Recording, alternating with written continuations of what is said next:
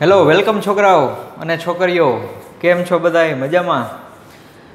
Last લેક્ચરમાં આપણે લોકોએ સાયન્સ કર થીટા પ્લસ કોસ થીટા બરાબર વન કેવી રીતના થાય એની સાબિતી બહુ સારી રીતે જોઈ ગયા છીએ. આજના લેક્ચરમાં હું પાછો આપણા ટોપિક ઉપર ફોકસ કરું છું. Chapter number two standard eleventh સંબંધ અને વિધેય.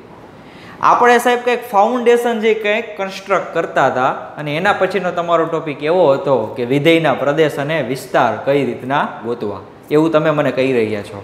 ઓકે આજે મારે એ જ ટોપિક લેવાનો છે, વિધેયના પ્રદેશ અને વિસ્તાર. એ પહેલાં લાસ્ટ લેક્ચરમાં મેં તમને ક્વેશ્ચન પૂછેલો હતો. ક્વેશ્ચન કંઈક આ રીતનો હતો કે શા માટે minus three into minus two બરાબર સિક્સ થાય. ક્વેશ્ચન એ છે, તમે શીખી ગયા પ્રાઇમરીમાં કે માઇનસ ત્રણ ગુણ્યા માઇનસ બે બરાબર છ થાય. એટલે આમાં સંખ્યા ઉપર કોઈ ગેમ નથી, ગેમ આખી નિશાની ઉપર છે. કે બે ઋણ સંખ્યાનો ગુણાકાર શું કામે ધન થાય? અહીંયા તમે જોવો છો, ગુણાકારમાં જે બે સંખ્યા જે કેવી છે, ઋણ છે, જોવો જોઈએ માઇનસ છે, માઇનસ, એટલે આ બે કેવી છે, ઋણ. પણ એના ગુણાકાર પછી આન્સર તમને ધન શું કામ મળે છે? એ મારે તમને શીખવવાનું છે. ઘણા બધા સ્ટુડન્ટ્સે ટ્રાય પણ કરી હશે. ઓકે ચાલો સમજાવું તમને. એની પહેલાં આપણે બીજા ત્રણ ક્વેશ્ચનની ગણતરી કરીએ. પછી હું આના ઉપર ફોકસ કરીશ. કઈ રીતના? જો સૌ પ્રથમ હું આવું લખું છું પહેલું કે થ્રી ઇન્ટુ ટુ બરાબર સિક્સ થાય. આ થાય તો આવું, શું કામ આમ થાય છે. તો જુઓ હું તમને કહું. થ્રી ઇન્ટુ ટુ બરાબર સિક્સ એનો મતલબ શું થાય ખબર છે? કે તમારે આવી રીતના કરવાનું છે કે ત્રણ જેનો ગુણાકાર બે સાથે તમે કરો છો, એની બદલે તમે આમ પણ લખી શકો ને કે થ્રી પ્લસ થ્રી બરાબર સિક્સ ત્રણ જેનો સરવાળો બે વખત કરવાનો. આમ પણ કહી શકાય. બરોબર એટલે આ તો તમને ખ્યાલ છે three into two is equal to six પણ એને બીજી રીતના, આવી રીતના પણ સમજી શકાય કે ત્રણના ગુણાકારમાં બે છે, તો એનો મતલબ એ થયો કે ત્રણનો સરવાળો કેટલી વખત કરવાનો છે? બે વખત. બે વખત એટલે કે થ્રી પ્લસ થ્રી થઈ જાય છે તો કે યસ સર ચાલો, બીજું જોઈએ આપણે. બીજામાં આવું લખું છું કે three into minus two is equal to minus six થાય છે. તો કે, હા, સર. એક ધન સંખ્યા હોય, એક ઋણ સંખ્યા હોય, ગુણાકાર કરો તો આન્સર કેવો આવે? ઋણ આવે. શું કામ એવું થાય છે? જુઓ. તો આમાં તમારે એવું કરવાનું હોય કે માઇનસ બે છે ને માઇનસ બે, એનો ગુણાકાર તમે કોની સાથે કરાવો છો? ત્રણ સાથે. એટલે માઇનસ બે તમારે માઇનસ બેનો સરવાળો ત્રણ વખત કરવાનો. કઈ રીતના ત્રણ વખત? તો કે એક વખત, આ બીજી વખત, અને આ ત્રીજી વખત. કરો હિસાબ માઇનસ બે પ્લસ માઇનસ બે પ્લસ માઇનસ બે. કેટલો આન્સર આવે? માઇનસ સિક્સ આ તો તમને ખ્યાલ જ છે ને બધાને સરવાળો કહેવાય માઇનસ બેમાં માઇનસ બે એડ કરો એટલે માઇનસ ચાર થાય. અને એમાં પાછા તમે માઇનસ બે ઉમેરશો એટલે માઇનસ છ થાય. ઓકે તો ગુણાકારને આ જ રીતના પણ કહી શકાય કે ત્રણ ગુણાકારમાં માઇનસ બેનો મતલબ શું થાય?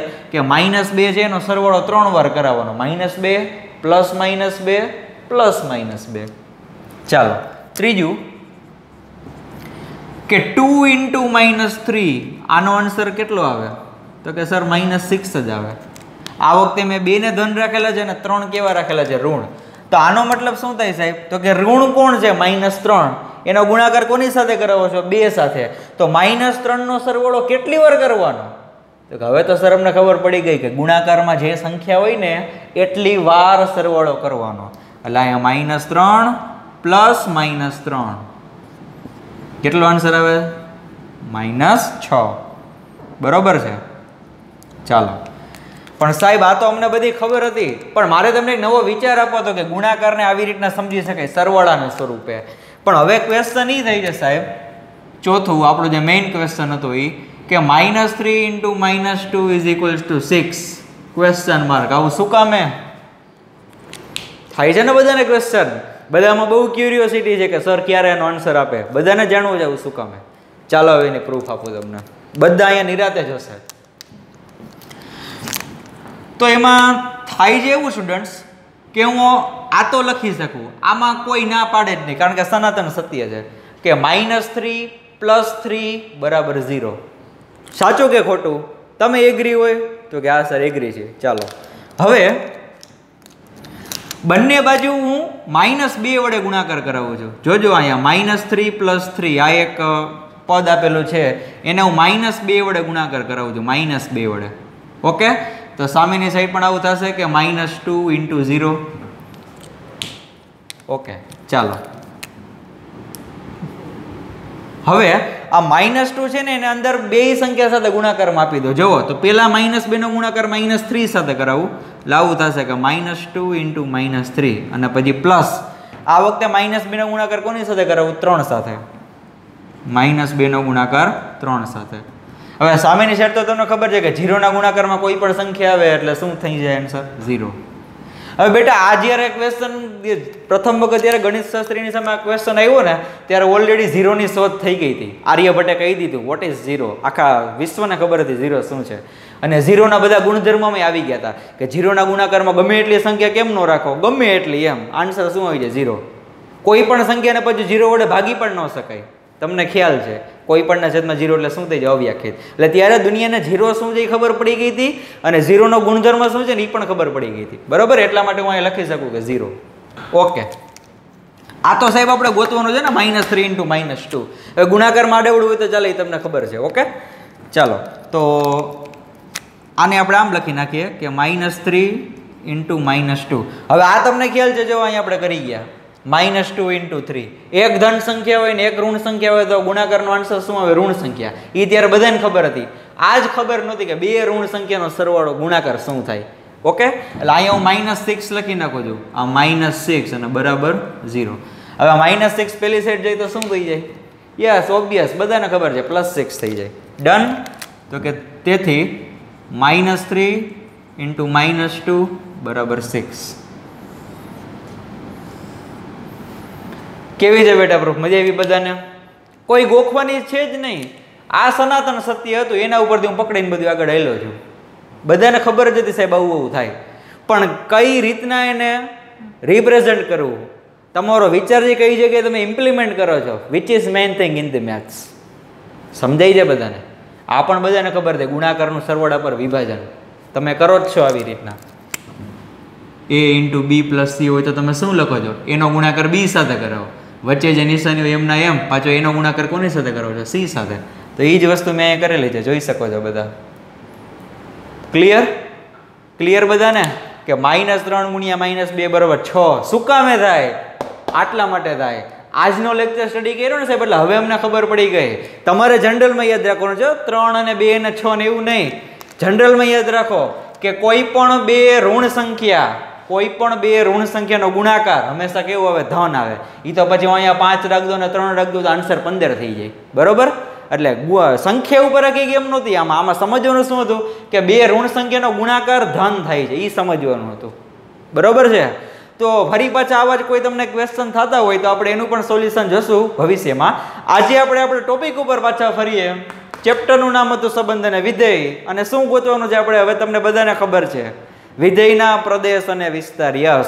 જે ડબલમાં સ્ટુડન્ટ્સ આના રિલેટેડ ક્વેશ્ચન હોય છે હોય છે અને હોય જ છે. પ્રદેશ અને વિસ્તાર ઉપર બહુ મોટી ગેમ છે વિધેયમાં. ઓકે ચાલો સ્ટાર્ટ કરીએ. એકદમ આજે બેઝિક લેવલના સમથી આપણે સ્ટાર્ટ કરશું. તમને હોમવર્ક પણ આપતો રહીશ.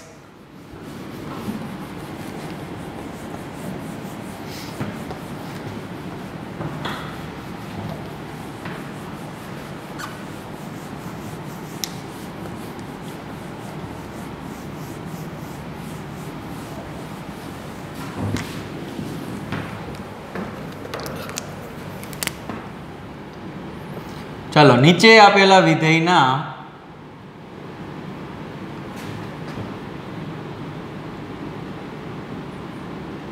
પ્રદેશ અને વિસ્તાર શોધો.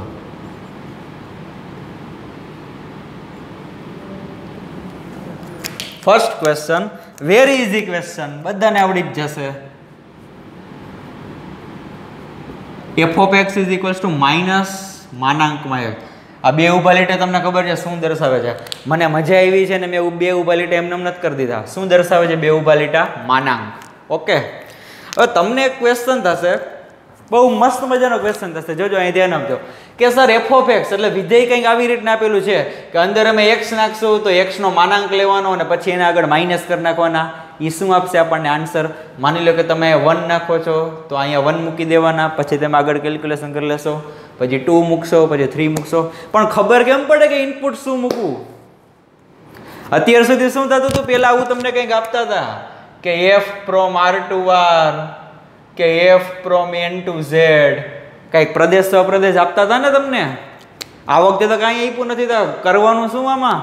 તો હવે નિરાતે સાંભળજો. ગમે ત્યારે જ્યારે પ્રદેશ અને વિસ્તાર શોધવાના આ ટાઈપના દાખલા આવે ત્યારે જો કાંઈ ચોખવટ ન થઈ હોય ને તો તમારે એક્સ બિલોંગ્સ ટુ આર સમજવાનું છે. શું સમજવાનું છે? એક્સ બિલોંગ્સ ટુ આર કાંઈ ચોખવટ ન થઈ હોય એટલે વાસ્તવિક સંખ્યાનો ગણ આર તમારે માનવાનું છે. હવે તમને ક્વેશ્ચન થશે કે, સર અત્યાર સુધી તો અમને પ્રદેશ અને સપ્રદેશ આપી દેતા હતા. પછી અમે એમાં ચેક કરતા હતા વિધેય છે કે નહીં? પછી અમે બધી વેલ્યુ ગોતતા હતા. બરોબર? પણ પ્રદેશ કેવી રીતના ગોતવો? તો હવેની રાતે સાંભળજો, પ્રદેશની બીજી વ્યાખ્યા એવી છે. પ્રદેશની બીજી વ્યાખ્યા. જો અહીં તમને લખ દઉં.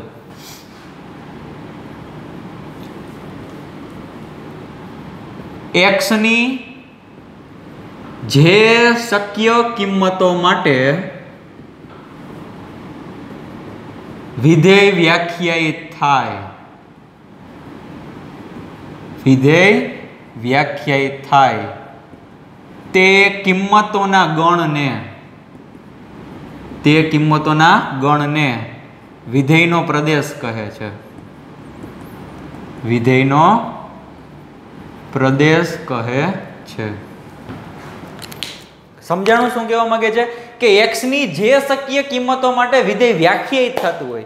સાહેબ, વિધેય વ્યાખ્યાયિત થઈ એનો મતલબ કે વિધેય છે એ વ્યાખ્યાયિત થાય કે સમજમાં આવે કે ના, આ ટાઈપનું પોસિબલ હોય. હવે એ જ્યારે સમ આવશે ત્યારે તમને ખબર પડી જશે. હું તમને પૂછીશ કે સ્ટુડન્ટ્સ એક્સની આ વેલ્યુ લેવાય? એટલે તરત જ તમે ના પાડશો કે ના સર એક્સની આ વેલ્યુ ન લેવાય. તો શું કામે નહીં લેવાય ને ત્યારે હું તમને બીજો ક્વેશ્ચન પૂછું કે શું કામ નહીં લેવાય? અને ત્યારે તમે જ મને આન્સર આપશો કે સર એક્સની આ કિંમત માટે છે ને વિધેય વ્યાખ્યાયિત નથી થતું. વ્યાખ્યાયિત થાય એટલે મેથ્સમાં કંઈક એનો મિનિંગ રહેવો જોઈએ કાંઈક જાણીતું કંઈક એવું છે કે, ના સર હા બરોબર છે. ઓકે ઇંગ્લિશમાં કહેવાય set of all possible values of x which is called domain of that function એટલે સમજો તમે, સાવ શુદ્ધ ગુજરાતીમાં તમને સમજાવું કે ભાઈ વોશિંગ મશીન હોય, આપણે જેમાં કપડાં સાફ કરીએ વોશિંગ મશીન એની અંદર તમે લાકડા નાખી દો અને પછી પાણી નાખી દો હવે તો ઓટોમેટિક આવી હોય પાણી ફિલઅપ થઈ જાય અંદર. અને પછી તમે સ્વિચ ચાલુ કરતો તો શું થાય? મશીન લાકડાને ધોઈ નાખશે? તો કે ના. તો મશીન તો હતું જ ને તમારી પાસે વોશિંગ મશીન વોશિંગ એટલે ધોવું. પણ બધી વસ્તુ એમાં ન ધોવાય. શું ધોવાય? કપડાં યસ તો કપડાં છે ને તમારો પ્રદેશ છે. કોના માટે? વોશિંગ મશીન માટે. એટલે હવે ખ્યાલ આવ્યો તમને? કે ગણ તો આપણી પાસે આખે આખો આર છે. પણ આખે આખા ગણ આરમાં જેટલા પણ સંખ્યા હોય, અનંત સંખ્યા એ બધી એ બધી સંખ્યા એમાં મૂકી શકાય કે ન મૂકી શકાય? એ જ આપણે હવે ગોતવાનું છે. હવે વિચારો, ચાલો. એટલે તમને ખબર પડી ગઈ કે એક્સની અમુક અમુક વેલ્યુ માટે જ વિધેય છે તમને આન્સર આપતું હશે. અથવા તો વિધેય જે વ્યાખ્યાયિત થતું હશે. તો એક્સની એ કિંમતને શું કહેવાય? પ્રદેશ કહેવાય. ચાલો બેટા હવે એક્સ બિલોંગ્સ ટુ આર છે હા કે ના? હા. હવે તમે વિચારો આવું ગમે ત્યારે પોઈન્ટ આવે ને પહેલાં છે ને જીરો મૂકીને ચેક કરી લેવાનું. જીરો આમાં મૂકો તમને કોઈને કંઈ વાંધો છે? તો કે ના સાહેબ જીરો મૂકશો તો આન્સર શું હશે? ઝીરો તો ભલે આન્સર ઝીરો હવે ઝીરો તો આપણને ખબર જ છે જાણીતું જ છે આપણા માટે બરોબર? પછી તમે માઇનસ વાળી સંખ્યા મૂકી દો અપૂર્ણાંક મૂકી દો સમય મૂકી દો અસમય મૂકી દો. તમને જો કોઈ કિંમતમાં વાંધો પડતો હોય તો એ કિંમત મને જણાવો. વાંધો પડે છે કોઈને? તો કે ના સર, આમાં તો કોઈ પણ વેલ્યુ મૂકી એનો માનાંક તો નીકળવાનો જ છે ને. ને માનાંક નીકળે પછી એને માઇનસ વડે ગુણી નાખવાના. તો આમાં તો અમને તો એકેય વેલ્યુમાં પ્રોબ્લેમ પડતો જ નથી. તો હવે મેં સમજાણું તમને કે અહીંયા આખે આખો ગણ જે આર છે ને આનો પ્રદેશ બની જશે. શું કામે કે આરની કોઈ પણ વેલ્યુ એવી નથી કે જે તમે વિધેયમાં મૂકો છો તો વાંધો પડે છે. યસ વાંધો ન પડવો જોઈએ. તો એકેય વેલ્યુ આમાં મૂકશો તો વાંધો પડતો નથી. તો એનો મતલબ કે આખે આખો જે આર છે ને તમારો શું થઈ જશે? પ્રદેશ. ઓકે? ચાલો યાદ કરો જે પ્રદેશને કઈ રીતના દર્શાવે સંકેતમાં? તો કે સર પ્રદેશને ડોમેઇન કહેતા હતા આપણે ભૂતકાળમાં. પછી ફંક્શન એફ હોય એટલે એને આપણે આવીને લખતા હતા કે ડીએફ આને વચાય ડોમેઇન ઓફ એફ ખ્યાલ છે બધાને? યસ.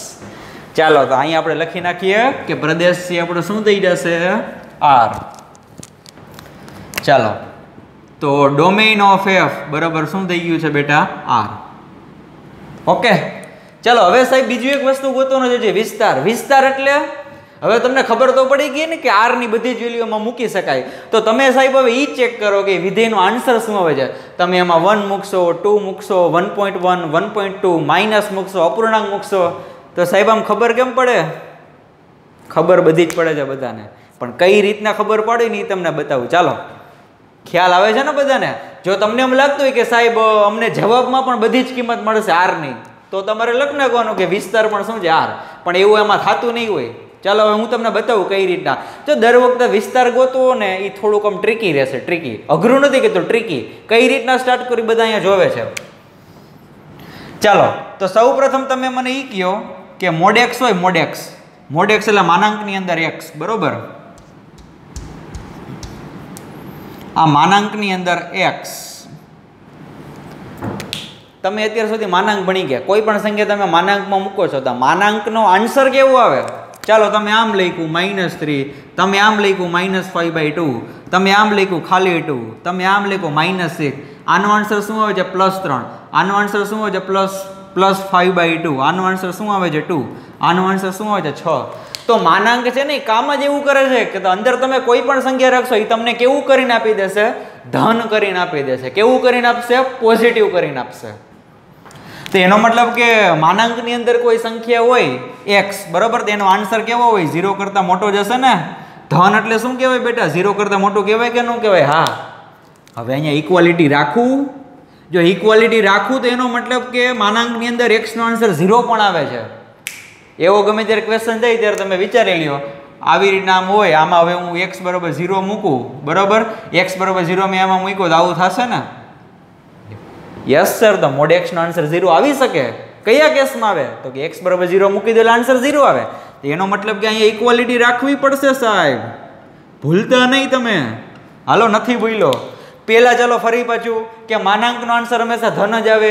એટલા માટે મેં આરની કોઈ પણ સંખ્યા એક્સ જ રાખેલી છે. એટલે આ એક્સમાં બધું આવી ગયું. કારણ કે એક્સ બિલોંગ્સ ટુ શું છે? આર એટલે એનો તમે માનાંક લેશો એટલે આન્સર ઝીરો કરતાં મોટો જોઈએ એટલે કે ધન હોય. અથવા તો શું હોય? ઝીરો અને એ ઝીરો પણ કયા કેસમાં હશે? જ્યારે એક્સ બરોબર ઝીરો હશે ત્યારે. એટલે મેં અહીંયા ઇક્વાલિટી પણ રાખી દીધી. એટલે હવે શું સાબિત થયું સાહેબ? કે મોડેક્સનો આન્સર કાં તો ધન હશે ને કાં તો કેવો હશે? ઝીરો મારે એફ ઓફ એક્સમાં મોડેક્સની આગળ શું જોઈએ છે? માઇનસ જોઈએ છે ને? ચાલો. યાદ કરો અસમતા. અસમતામાં તમે બંને બાજુ માઇનસ સંખ્યા વડે ગુણો તો અસમતા અસમતા બદલાઈ જાય. યસ. ચાલો. તો બંને સાઈડ માઇનસ વડે ગુણી નાખો એટલે આવું થશે. અસમતા બદલાઈ જશે એટલે greater than or equal to એનું શું થઈ જશે? Less than or equal to અરે ઝીરોને તમે માઇનસ વડે ગુણો કે ના ગુણો કાંઈ ફરક નહીં પડે. એ શું રહેશે? ઝીરો જ રહેશે? ઓકે પણ માઇનસ મોડ એક્સ બરાબર શું લખીએ કાંઈ? એફ ઓફ એક્સ લખીએ કાંઈ? તો કે તેથી f of x less than or equal to zero અને બેટા, યાદ કરો, મેં તમને એક લેક્ચરમાં એવું કીધું હતું કે એફ ઓફ એક્સ બરોબર તમારે વાય લખવાના હોય વાય એટલે વાય છે એ આપણો આન્સર થશે. કારણ કે એફ ઓફ એક્સ એ તમને આન્સર જ આપશે ને? તમે એક્સ બરોબર આમાં વન મૂકો એટલે તમને શું મળે? એફ ઓફ વન પણ એફ ઓફ વન જે કંઈ કિંમત જ આપશે ને તમને? વિધેયનો આન્સર કાંઈ હવે આના બરોબરનું શું લખી નાખું છું બેટા? વાય એટલે એફ ઓફ એક્સ બરોબર વાય લખી નાખો એટલે વાયનો આન્સર કેવો આવશે? ઝીરો કે ઝીરો કરતાં નાનો? બસ, આપણો આન્સર આવી ગયો. આને જ કહેવાય વિધેયનો વિસ્તાર. તમારે અલ્ટિમેટ વેલ્યુ કોની ગોતવાની હોય? એફ ઓફ એક્સની એફ ઓફ એક્સ બરાબર શું કહી દેવાનો? વાય વાય નો કયો કયો તો પણ ચાલે, કારણ કે તમને ખબર છે કે એફ ઓફ એક્સનો જવાબ કેવો આવશે? કાં તો ઝીરો હશે ને કાં તો ઝીરો કરતાં નાનો. પણ બેટા, આવી રીતના લખવાનું. આપણે અંતરાલના સ્વરૂપમાં લખવાનું છે. આને પણ તમારે અંતરાલના સ્વરૂપમાં લખો, તો આવી રીતના લખીએ કે minus infinity to plus infinity આને અંતરાલના સ્વરૂપે લખવું તો સાહેબ, લખી શકાય. તમારે કેવી વેલ્યુ જોઈએ? ઝીરો કે ઝીરો કરતાં નાની? યાદ કરો, અહીંયા સેન્ટરમાં ઝીરો હોય. ઝીરો કરતાં નાની એટલે આમ લેફ્ટ સાઈડ જવાનું હોય. કંઈ ચોખવટ નથી કરી કે નાની, પણ ક્યાં સુધી નાની? ચોખવટ ન કરી હોય તો અનંત સુધી લઈ જવાનું. પણ આ વખતે કેવા અનંત આવશે? યસ માઇનસ ઇન્ફિનિટી આવશે. ઝીરો લેવાનો છે.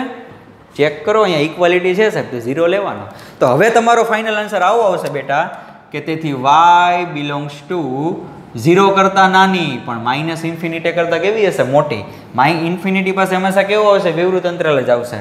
ઝીરો આ વખતે અહીં લેવાનો છે એટલે કેવો આવશે? સંવૃત ક્લોઝડ ઇન્ટરવલ બરોબર? તો આ તમારો ફાઇનલ આન્સર થઈ ગયો. થઈ ગયો ને final answer okay done clear છે બધાને? ફરી પાછું મોડેક્સ એનો આન્સર ધન અથવા તો ઝીરો જ હોય. પણ મારે રકમમાં તો માઇનસ મોડેક્સ હતા એટલે મેં બે બાજુ માઇનસ વડે ગુણી નાખ્યા. પણ યાદ કરજો આ વખતે અસમતા બદલાઈ જશે. એટલા માટે મેં તમને ઓલો એક લેક્ચર લીધો હતો સ્પેશિયલ અસમતા માટે ગાણિતિક પ્રક્રિયા. એટલે અસમતા બદલાઈ ગઈ ને ઝીરોને માઇનસ વડે ગુણશો તો ઝીરો જ રહેશે.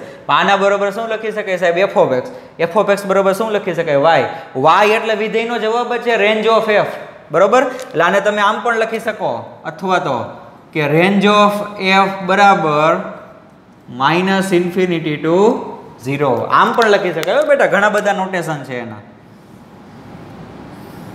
આ બે વસ્તુ સેમ જ છે. રેન્જ ઓફ એફ એટલે વિધેયનો વિસ્તાર અને વાય છે એટલે વાય છે વિધેયનો વિસ્તાર જ બતાવે. ક્લિયર બધાને? એટલે આ તમારા ફાઇનલ આન્સર રહેશે. પ્રદેશ થઈ તમારો આર આવી ગયો. ડીએફ બરાબર આર ડીએફ એટલે કે ડોમેન ઓફ એફ અને આ થઈ ગયું રેન્જ ઓફ એફ બેટા, નિરાતે વિચારજો, હવે મેથ્સમાં તમારે આ જ રીતના કરવાનું રહીએ વિધેયના વિસ્તાર આવે ને ત્યારે કે સ્ટાર્ટિંગ પહેલાં એક્સથી કરવાનું, પણ અહીંયા મેં મોડેક્સથી કર્યું કારણ કે મોડેક્સ મને ખબર છે કેવો હોય, ધન હોય. પછી વન બાય વન તમારે સેટ કરતું જવાનું, જે રીતના વિધેયમાં આપ્યું હોય ને એ રીતના ઓપરેશન કરતા જવાનું. એટલે છેલ્લે તમને એવું કંઈક રિઝલ્ટ મળી જશે ને એ આપણું શું હશે? વિસ્તાર. ક્લિયર છે બધાને? ચાલો તો હવે સેકન્ડ ક્વેશ્ચન તરફ આપણે આગળ વધીએ.